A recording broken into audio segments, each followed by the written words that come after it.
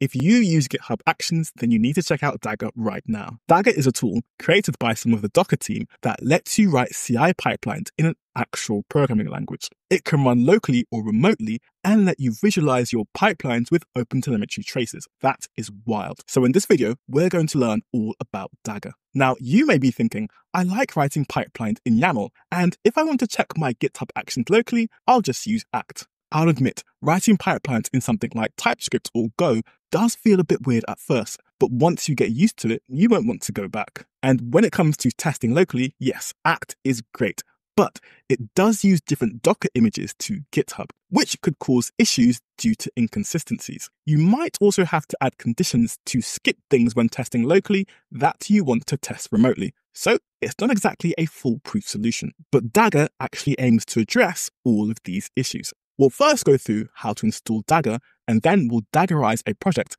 which basically means create a pipeline using Dagger functions. And after that, we'll go through some of my favorite Dagger features. So we have a simple Go project with some tests and a GitHub Actions workflow that first installs Go, downloads dependencies, and runs the tests.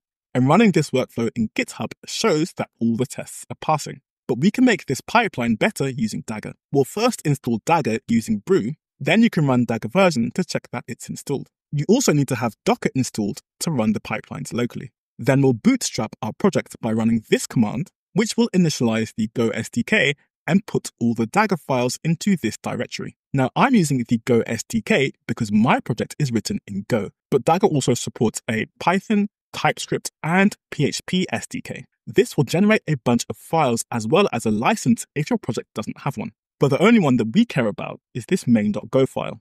We'll first delete this comment at the top. So the struct GoFiber was generated based on the name of our project, which is GoFiber.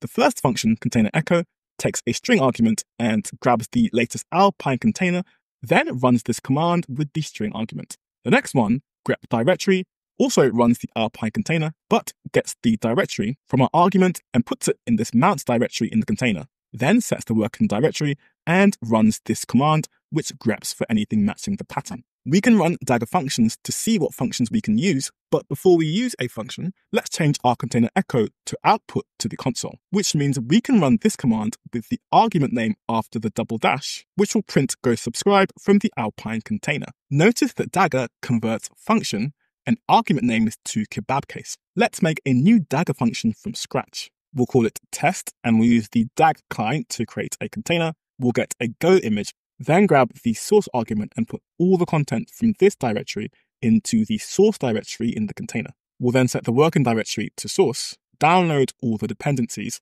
and then run the tests and print the output to the console.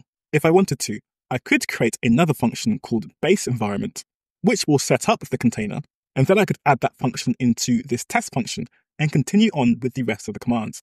Now we can run this command to test our function locally. And we can see the tests ran as expected. We can also update our GitHub action workflow by replacing all of this code with just this. Here we're getting the latest version of Dagger, running our command, and passing in the Dagger Cloud token if you have one. And that's it. And as you'd expect, the code runs the same remotely as it does locally.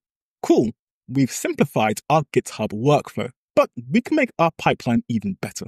You'll notice when we ran our function, this step took 27 seconds, which is mainly because it's downloading dependencies. Dagger automatically caches between each layer, but it gives us the ability to cache volumes to prevent this from happening again.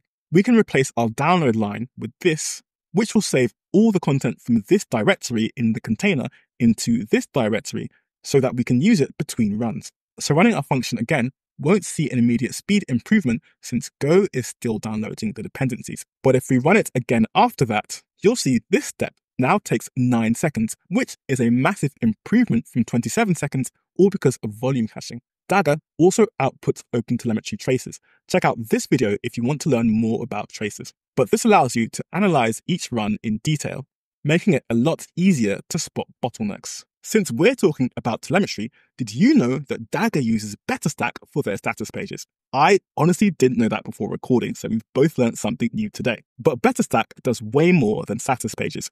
It supports dashboards, metrics, logs, alerts, and even supports data from OpenTelemetry, all with a really generous free tier. So why not be like Dagger and check out BetterStack today? Okay, we're back. Let's talk about debugging pipelines. You can add a breakpoint using the terminal function to start an interactive terminal session, or run a function with the interactive flag, which will start a terminal session if a pipeline fails.